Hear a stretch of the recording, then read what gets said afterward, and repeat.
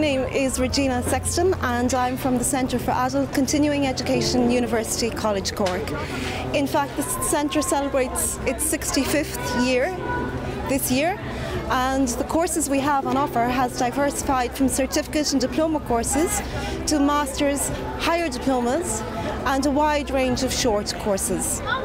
I also teach on a number of the programmes, uh, the Diploma in Speciality Food Production, for example, and I also offer my own short course called The Story of Irish Food.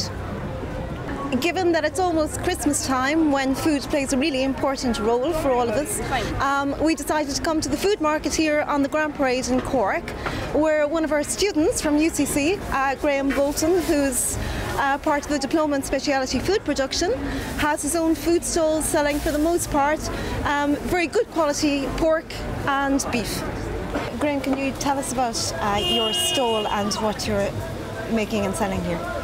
Yeah, sure. Um, it's, it's, mostly featuring on barbecued food and I'm combining it because with the Irish of potatoes. So we do the whole range of potatoes there through. And I um, deal with the butcher out in Ballinspittle in West Cork.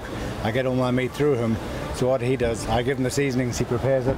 We've got the meat on the spit, he makes the sausages for me, and then we mostly do the combination. So it's basically barbecued food and potatoes in the mixture, and it seems to be working very well for most people. My butcher is Donald Lorden, so he's a specialty artisan butcher. He's one of the few left who actually has his own slaughterhouse. I'm based down in Kinsale, and I'm fortunate enough to have come across him several years ago. So he made me interested in getting into the whole side of it, and he looks after all the meat for me. Um, and he, he, offers an excellent service. I know where it's coming from. I know what I'm dealing with, and it's, it's, it's a perfect working relationship. Uh, Graham, can you tell us how um, how you're finding the course and how it's working for you on the ground?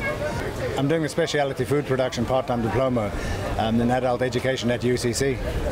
I've got the cooking and the catering background. I have other interests with the meat products to try and develop them. So the course is putting me in touch with the right individuals, the, the biology, the microbiology, the marketing, the packaging. So, so far it's fascinating and let's hope we can take it a lot further from here. At the end of that one, I want to walk away with a finished packaged product in addition to my catering business. It, it, it's tying in very nicely because I'm able to keep going, work. This is um, being a part-time diploma course. It's offering and running over the six months. We've got several days of the month, including assignments.